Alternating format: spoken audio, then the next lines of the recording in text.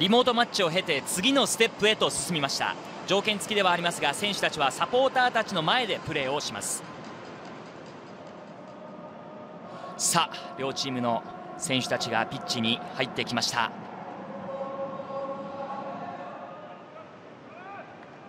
では大分トリニータのスターティングメンバー予想フォーメーションでご覧いただきます。いつも通り3421のシステムです。キーパーが高木3バック左から利根鈴木岩田ダブルボランチが島川長谷川左に香川右に松本玲シャドウに三平田中達也ワントップ知念と予想しています。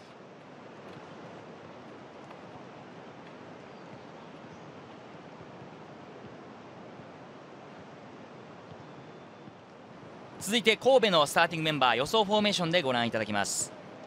キーパーが飯倉です。今日は4バックを予想しました。右から藤谷センター菊池大崎左が酒井豪徳アンカーに山口インサイドハーフに豪家と安井左に古橋右に田中純也センターに藤本紀明と予想しました、まあ、6人入れ替えてシステムも4バックと予想しました。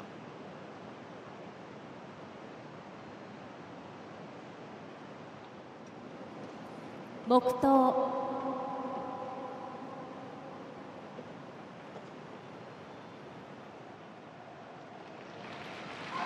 令和2年7月豪雨の被害に遭われた方々に哀悼の意を込め黙祷を捧げました。今前半の45分がスタートしました。まずは大分つないでいきます。岩田から松本玲神戸は前線からのまずプレスというところになります。ルーハシ奪ってドリブル運ぶ。真ん中に運んで安井のシュート。古橋の左足！ファーストシュート決めたのは左足で古橋です。先手を取ったのはいきなりの神戸。まだ20秒と少しのところ。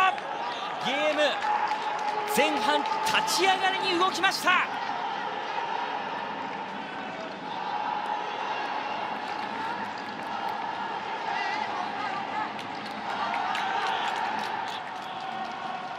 中で待つのは三平。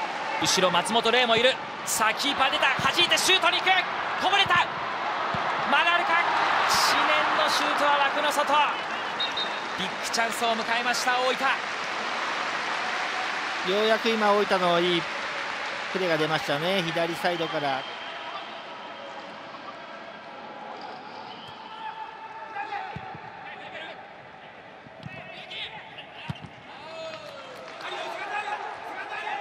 セカンド。オフサイドがますが下ろした。岩田だ。岩田のシュート!大分同点に追いつきます!岩田抜け出して冷静に流し込みました。同点です!いや今この奪ったボールですね。ここ三浦競ってここね選手を上げるんですけど流したレフリー素晴らしいですね。試合展開をよく見ましたね。今村さんいい判断だと思いますね。今日試合のポイントになりますからね。そうですね。ぜひまあこちらの大分の右神戸の左注目してご覧ください。アーリークロスダイレクトボレー!田中達也のボレー!岩田の素晴らしいアーリークロス。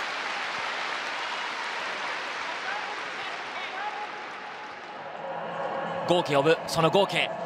合計と安井が今ポジション変わってますかね。そうですね入れ替わってますね、うん、さあ中に入ってきた。ここは藤本に入った。藤本のシュート。いやー一つ今ボールコントロール遅れましたかね。足元入っちゃいましたね。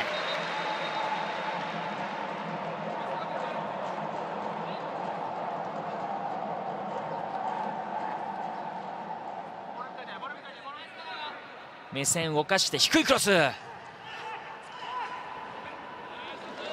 岩田岩田切り返した。岩田左足のシュート！ファーを狙ったシュート。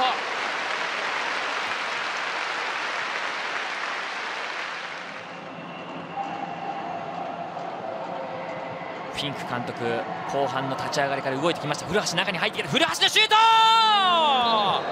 カットインからのシュート古橋。速いですし、えー、いいシュートでしたね。そうですね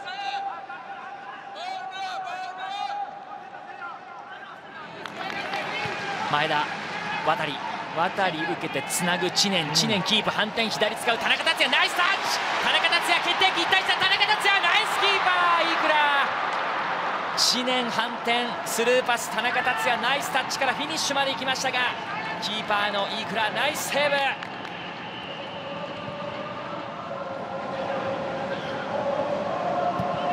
ラフに入れた。ドーグラス頭で落とす。合計だ。合計おっとこれ小田のシュート。合計から小田決定機でした。まあ、今ドーグラス落とした後一旦ね大分のボールになりましたけどね。ここちょっと軽いプレーしましたね。佐々木。周り見て運んだ。佐々木。佐々木来た。佐々木。右を使った。小田だ。小田のシュート。クロス。佐々木浮いてしまいました。